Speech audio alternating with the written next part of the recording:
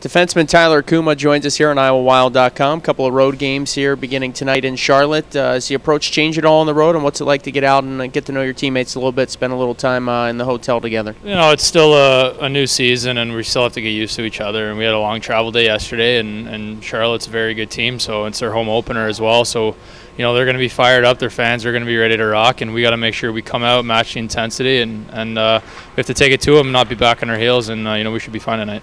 What's the most important thing to bounce back from Sunday's loss against Oklahoma City? You know, I just let it go. Um, it, it, was last weekend, and you know, it was a tough game that was anybody's game, and you know, they ended up taking it in the end. And you know, it's game two. We still have a lot of games to go. Uh, we'll start one game at a time, and you know, there'll be days when the bounces don't go our way, so we have to make sure we work hard to make sure we get those bounces.